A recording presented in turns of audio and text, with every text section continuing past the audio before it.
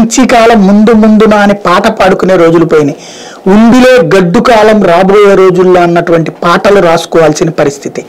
ఏం కొనేటట్టు లేదు ఏం తినేటట్టు లేదు పాటలు ఇక రాబోయే రోజుల్లో మన చెవుల్లో మారుమోగబోతున్నాయి. ఎందుకంటే ఒక పక్కన ప్రపంచవ్యాప్తంగా కరోనా ఒక ఎత్తు అయితే వాతావరణం వలన గోధుమలలో తేడా వచ్చింది. ఆయిల్లో మంచి నూనెకి సంబంధించి తేడా వచ్చింది. పెట్రోల్ డీజిల్ ఈ యుద్ధం వలన కంటిన్యూగా సంక్షోభం ఎదుర్కొంటున్నటువంటి పరిస్థితులు. వీటన్నిటి పరిణామక్రమం భారతదేశమే కాదు ప్రపంచం మొత్తం తీవ్రమైనటువంటి ఆర్థిక సంక్షోభం. ఇప్పటికే శ్రీలంక నేపాల్ బంగ్లాదేశ్ ఇవన్నీ ఎదుర్కొంటుంటే మనం కొంతమేర కట్టడి చేసుకుంటున్నాం. కానీ రాబోయే రోజులు మరింత ప్రమాదకరంగా మారబోతున్నాయి. ఎందుకంటే రష్యా ఉక్రెయిన్ యుద్ధం ఇప్పట్లో ఆగేలా లేదు. ఈలోపు చైనా తైవాన్లకు సంబంధించిన యుద్ధం రాబోతుంది. దీంతో పెను సంక్షోభాలు రాబోతున్నాయి. రూపాయి అనేది చేతిలో ఉంటే దాచుకోవడం బెటర్ బంగారం కొనేయడమో లేకపోతే నగలు కొనేసుకోవడమో లేదంటే విలాసవంతమైనటువంటి వస్తువులు ఖర్చు పెట్టడమో కాస్త తగ్గించుకుని వచ్చినటువంటి సంపాదనలో అవసరమైన ఖర్చు పెట్టుకుని ఆ అనవసరమైనటువంటి వాటికి లేదంటే కనుక ఉన్నాయి కదా చేతులు అని చెప్పేసి కొనేటువంటి వాటిని ఆపేసి ఆ డబ్బుల్ని పక్కన దాచిపెట్టుకుంటే బెటరు.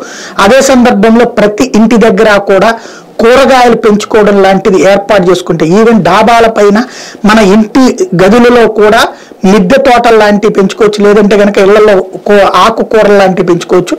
ప్రతి ఒక్కరు ఇది ఏర్పాటు చేసుకోవడం బెటర్. ఎందుకంటే రాబోయేటువంటి రోజుల్లో ప్రతిదీ ధర పెరగబోతుంది.